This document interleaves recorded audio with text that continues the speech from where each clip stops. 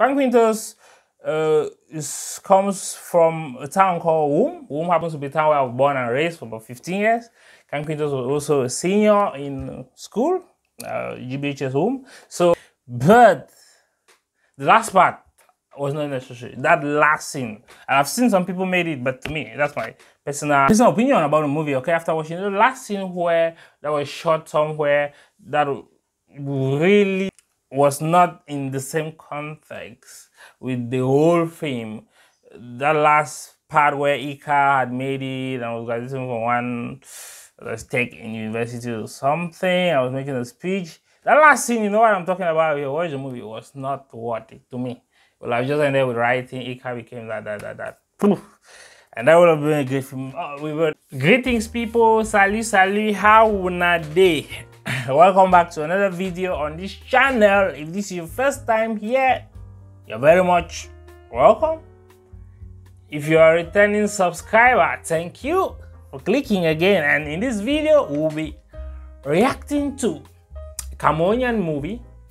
It's not the first. There's a second Cameroonian movie to go on Netflix, okay? The first was Therapy, and today we're talking about The Fisherman's Diary, produced by legendary award-winning actor, Cameroonian award-winning actor and producer Kang Quintus, directed by Enah Johnscott, starring superstar or potential uprising actresses like Faith Fidel, Goddess Fongwa, Laura Onyama, is that the name? Is that how we pronounce it? Yeah, Laura Onyama. Yeah, so those great actors and a veteran actor Ramsey Nouah also was in the movie, and it's a great movie. Ever since I watched the trailer, like uh, that was six months ago, uh, and there was also the campaign to get the movie on Netflix. So uh, individuals were uh, invited, like, to try and to make Fisherman Diary, tag Fisherman Diary and tag Netflix and tag get the movie on Netflix and stuff like that. Uh, it was a campaign, online campaign to make the movie get on Netflix, but I believe that there was more work that had already been done and that was being done alongside that before that movie finally got to Netflix because only the production quality is awesome, the color grading, the sound, everything, location the side of shooting and the costumes awesome okay? So there's a lot of work that must have been put into this movie and it was a great movie the story okay? Because the movie basically fisherman diary is talking about uh, is inspired by a nobel peace prize winner malala yousafzai. She's pakistani okay so this movie was inspired by her, and it talks about a young girl, Faith Fidel, Ekah, okay, who defies the expectations of her father and the entire village to pursue an education. Uh, in the storyline, it's a community of fishermen and people do business around fishing and all that. And they, they don't believe that education is has value, especially for the girl child.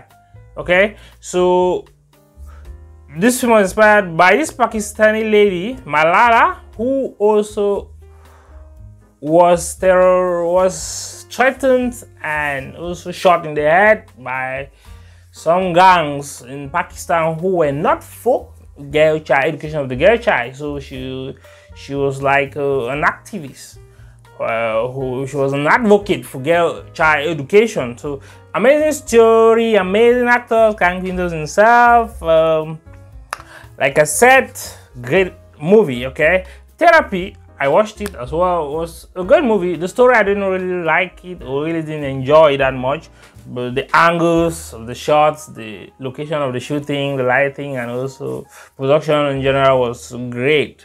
I just had some, a couple of actors who I admire much in, in, in therapy, like the therapist, she's Nigerian, and also there's this uh, there's a madam inspector who if you watch the movie if you watch the episode who RMD calls towards the end and she turns up to help resolve the issue in their marriage.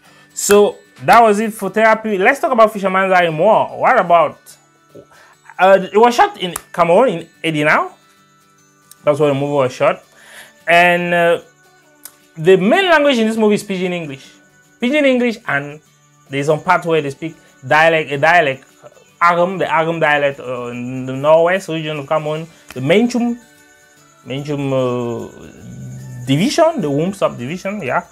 So, amazing movie, purely, typically, totally and completely original, okay?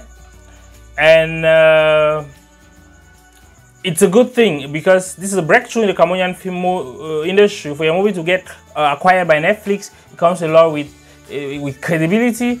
It comes with a lot of hard work. It comes with a lot of appreciation, and it comes with a lot of financial uh, growth too. Because it's money. It's, it's money that we're talking about that's being made here. Okay. So if you've been listening to interviews, Kang Quintus have been very positive about the growth in the Cameroonian movie industry and has been saying that the time has come for Cameroonian movie actors and producers will be able to write Bentleys and build houses, okay? Like, I believe what's happening in Ghana and Nigeria. So it's, it's a good deal for Cameroon. If you want to watch a movie, go to that platform. Netflix is a platform where movies are placed for you to be able to watch. They're well arranged. You can easily access them, download them on your Wi-Fi and watch them at home. If you're not having Wi-Fi at home, if you're having Wi-Fi, you can stream it all the time at home on TV, tablet, or smartphone okay?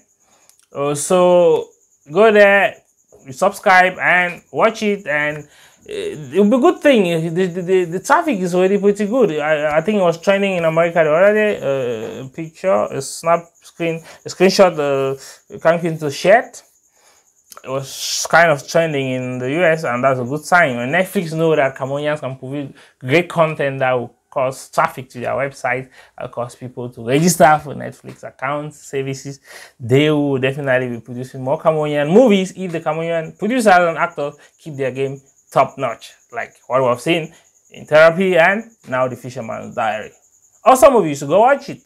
Uh, like I said, Faith Fidel, awesome actress who was able to transmit a lot of emotions. There's a villain, Lucas, the brother to Solomon, who's Quintus, gave him bad ideas to, sell his daughter out for teenage marriage because he was owing Sule, who was one, he was owing one guy, Sule, and he couldn't pay off the debt, so he had to propose an idea of marrying off his uh, his niece without even the knowledge of the father that he was almost like selling his daughter. Okay, horrible, horrible thing, teenage marriage and know to get our uh, education. Those are things that were outlined in this movie. And there's one key phrase that says, one child, one teacher, one book, one pen can change the world, something like that. Also, uh, it was a great movie. You should go watch it. Go watch it. Go watch it. Uh, uh, Laura Onyama was uh, Quintus' love interest and uh, amazing, amazing this is a grass from grace story, and this is a breakthrough in the Cameroonian movie industry. A film featuring on Netflix is a big deal. It comes with a lot of financial success as well.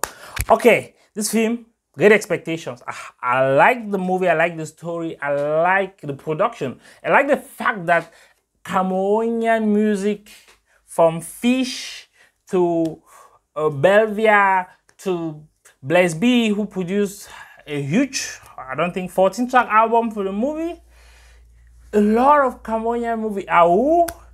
The movies that you hear sing onto some of them play completely. Uh, Mr. Leo Salatiel, some of them play completely throughout the movie. And I found that really interesting. That's putting Cameroon on the map. Okay? This one is a big deal, like putting the country on the map. A lot of great things have been happening for Cameroon.